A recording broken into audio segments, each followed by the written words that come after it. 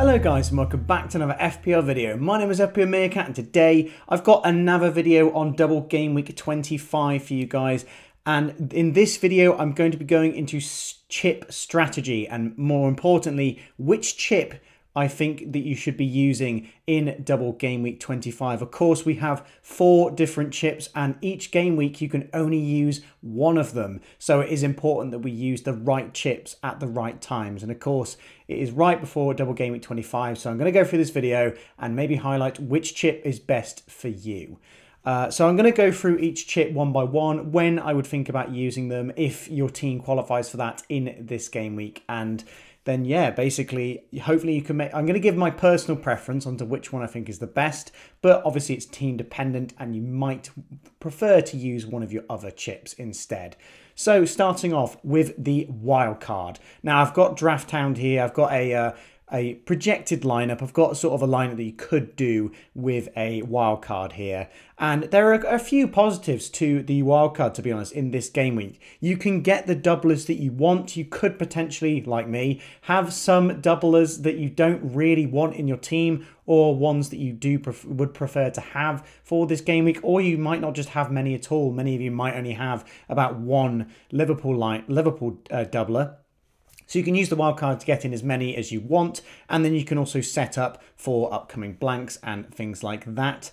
Uh, you can set up for the blank in Game Week 26 and the blank in Game Week 29 as well. We will uh, ha be having quite a few teams that blank in Game Week 29. We will know for certain, though, by Game Week 27 which teams they will that will blank, but you can transfer in some players who definitely have a fixture in that game. Like uh, I've got on the bench there, Reguilón and Douglas Luiz both will have a fixture in Game Week 29. Uh, and Senesi is there as well because there'll be a, a, double coming up for Bournemouth. So you could have some Bournemouth players on the bench ready for that double in game week 28. And they have a nice fixture against Burnley in 27 as well. So that'd be quite nice to have. Uh, and you can react to any shock news as well. We might get some news near the deadline, especially that man right there. Mohamed Salah could be starting for Liverpool, and it could be a really good way to react to any news and just have your wildcard draft ready with Salah and then just press the button and get him in because not many people are going to be owning Salah. So, yeah, you can react to any news very quickly. Uh, some negatives though, you can't use it later, of course. Uh, there could be, there, well, there will be blanks and doubles coming up later. You can't react to it as as well with the wild card again there might not it might not be as drastic as this double coming up but it might be nice to use later on if you're not going to be making many changes on your wild card or many major changes that I should say it might be worth saving for a later point. And you will lose team value of any players that you transfer out. I know a lot of people have the likes of Palmer uh, gained a lot of team value in someone like him. And transferring him out, of course, will mean that you lose that team value that's stored in him. So you'll have to buy him back for a more expensive price if you do want to get him back. So just something to keep in mind there. But the wild card, I think, is a fair, fairly good chip to use this game week. Then moving on to the triple captain. Of course, uh, I know many people will be wanting to use their triple captain here on the likes of Haaland, maybe De Bruyne, maybe even Salah if he's back fit. I've got DraftHound's top five here. Haaland seems to be the standout. Actually, this isn't the top five that DraftHound have. I think this is the top five picks. That is considering if Salah isn't fit. Uh, if he is, he will certainly shoot up the rankings there. Uh, of course, you could save the triple captain as well for game week 28. Solanke has Sheffield United at home and Luton at home. Well, Bournemouth have that fixture, but I think if you're going to triple captain anyone from Bournemouth, it would be Solanke. And there's also a double coming up in, in 34 and 37 that you might want to save the chip to use. But this is a very good opportunity, I think, to use the triple captain. Uh, two home fixtures for Haaland seems absolutely amazing on paper. And again, you could go for a different City asset there or a Liverpool asset with uh, the Brentford fixture and Luton fixture. Would I go for a triple captain from Liverpool that wasn't Salah?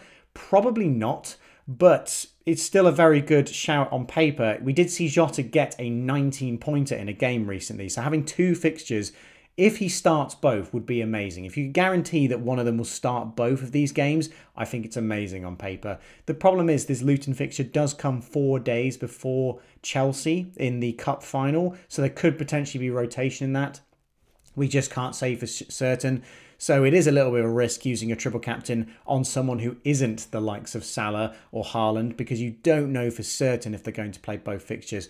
Foden's another one, to be honest. Foden is second there on the list. If you don't want to go for Haaland, uh, go for Foden. That's a, another alternative to it. Someone who will probably start both of those games and is relatively low, lower owned. What I will say is just triple captain the player you think is going to score the more points. I've seen a lot of mathematics going on on Twitter about, you know, triple captaining a differential.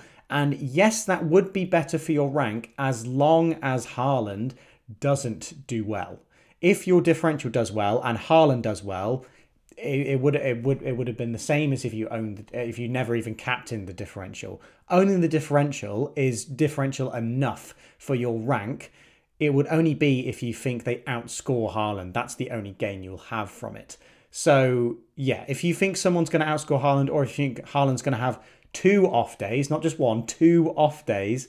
I mean, we did see the Champions League game, and uh, I calculated De Bruyne would have come away with a 16 pointer in that game, and Haaland would have blanked. So it is possible that it can happen, and it could happen twice, but it is very unlikely. So yeah, I think the triple captainship is very good, and I think there's a few options there, but obviously Haaland is the standout one. Moving on to a bench boost. Now, Quite an interesting one, this, because obviously this isn't a very big double game week. You would preferably want to save your uh, bench boost for a huge double game week where you have 15 doublers. You can only have a maximum of 12 in this one, and obviously Luton and Brentford's double isn't that great. But I've added a list there of some of the great single game week fixtures we have. So some of you might have a lot of doublers in your team, but have the likes of a, an Arsenal player on the bench uh, with the fixture against Burnley, pretty good. Villa with a Fulham fixture, that's a good one as well. Brighton with Sheffield, uh, Newcastle with Bournemouth, Spurs with Wolves. There are a lot of really, really good um, good single fixtures. I've also put the predicted gain, by the way, um, on the on the bottom of the um, bottom of the screen. Sorry, I haven't brought that up before.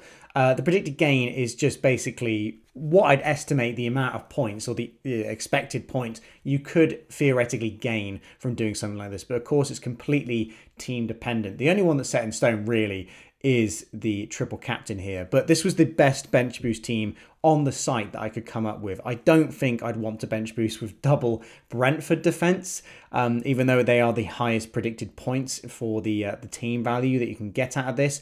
But if you have, for example, a bench, let's just say you have Gabriel on the bench, you have someone like Saka and then maybe another defender, maybe a um, an Alex Moreno, a, Stupinan, uh, a Gordon potentially on the bench, and then you have a, a goalkeeper that plays. Might not be a very good goalkeeper, but if you have a Dubravka or an Areola on the bench, I would really consider bench boosting because we, we, you've got to think to yourself: Would you want to start your players on the bench? And if you've got three of them, I reckon I would really consider bench boosting You'll be against the people who are triple captaining, of course, but even if you captain Haaland, that's still, you know, it's still going to be pretty good um, for his points. So yeah, you could really definitely consider the bench boost, and of course it means it's out of the way, and you don't have to worry about value on your bench from that point onwards.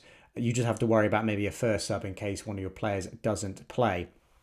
But yeah, I think the bench boost is definitely a viable chip to play. And for, and last but not least, the free hit. Uh, projected predicted gain is incredibly varied on this one, just because it's so team dependent. What how many changes you'd be making to your team, and again, this is only for one game week. Is the free hit? You can take punts on all the doublers. You might not want to keep the the Luton players, especially given the given a blank uh, in the next game week, and Liverpool players who are then going to blank in the next game week too.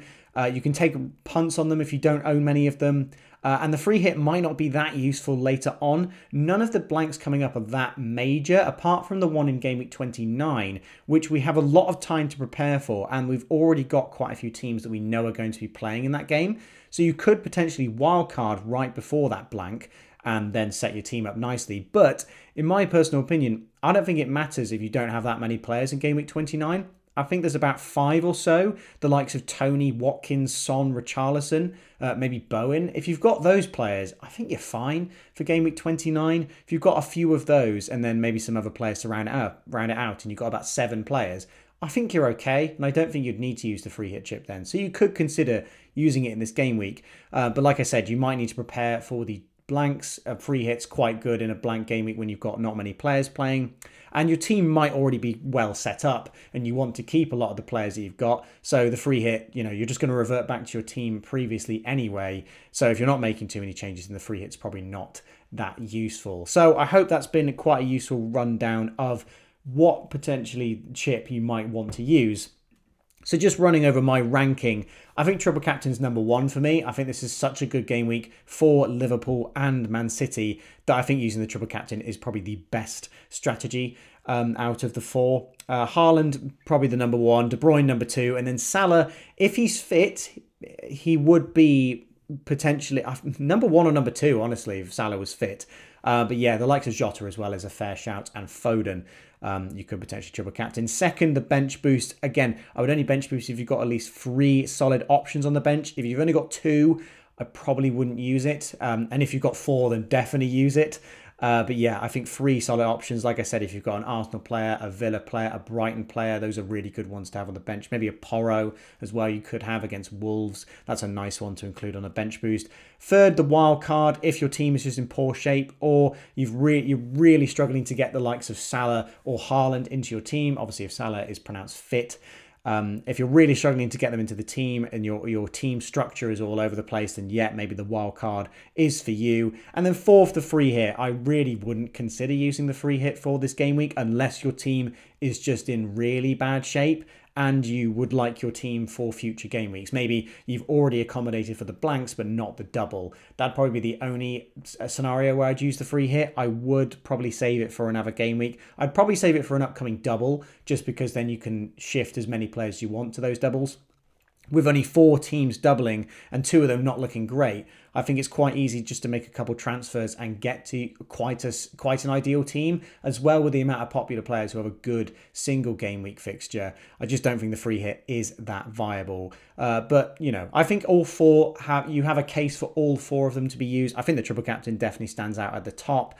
But yeah, I think you could use any of these chips and, of course, whichever ones are available to you. If you're like me and you already use the free hit, then that's not even an option for you anyway. Um, but yeah, I hope you have all enjoyed this video and I hope you found it quite useful. Uh, if you've enjoyed it, please leave a like and get subscribed to the channel for more weekly content. I will have my team selection out for you guys tomorrow, hopefully, and then I'll probably do a live stream on Friday. I won't be able to do it for, I won't be able to do a deadline stream on Saturday, but I think I'll do one on Friday to react to all of the press conference news and all of that stuff. But yeah, I hope you've all enjoyed and I'll see you in the next FPL video.